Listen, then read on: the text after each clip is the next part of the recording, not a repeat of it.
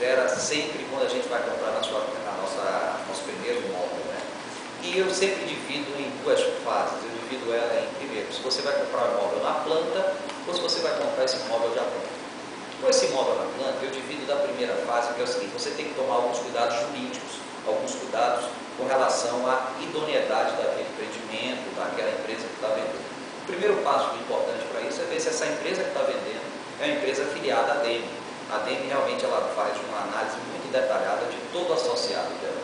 E isso dá já a essa empresa que tem a chancela da DEM uma credibilidade muito grande. Um segundo ponto que deve ser sempre analisado é o registro de incorporação. Sempre olhe no seu material, para aquele empreendimento que você quer adquirir, se aquele empreendimento já tem o número do seu registro de incorporação. Venha ser isso. Venha ser que é mostrar esse empreendimento, tudo que ele vai ter é registrado em cartório. Se ele é um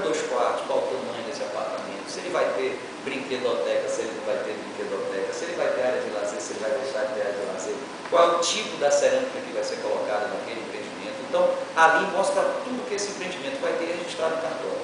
Então, as pessoas vão poder ter uma segurança maior. E um terceiro e último ponto eu acho bastante importante é o taxa condominial.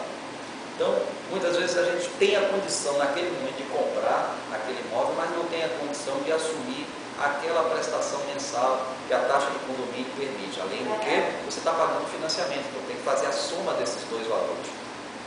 E isso hoje é bastante importante, apesar de que hoje muitas das incorporadoras e construtoras já colocam no seu estande de vendas qual o valor previsto daquela taxa de condomínio. Isso tem permitido realmente que as pessoas se programem melhor e evitem o susto daquele imóvel na planta. Um outro ponto, aí sim a gente já quer partindo para o imóvel pronto, a gente tem que olhar primeiro a certidão de 11 reais. O que é isso?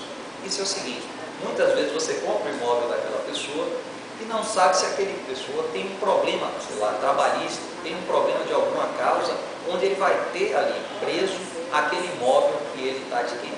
Então, essa, essa, essa certidão mostra que aquele imóvel não tem nenhuma ação sobre ele. Isso é muito importante. É bom saber também, também referente ao condomínio, se aquele empreendimento, se aquele apartamento que ele vai comprar tem algum débito com aquele condomínio.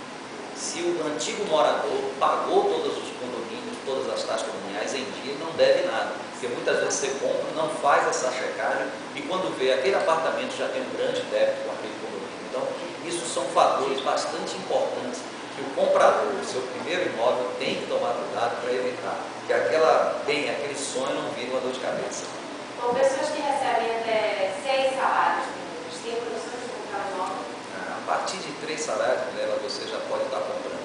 Como disse, o Minha Casa Minha Vida veio dar a essas pessoas de uma renda menor favorecida a condição de poder estar adquirindo o seu imóvel. Então, a partir de três salários mínimos, você já pode ir lá no feirão, que você tem diversas opções, com certeza que vão caber no seu bolso.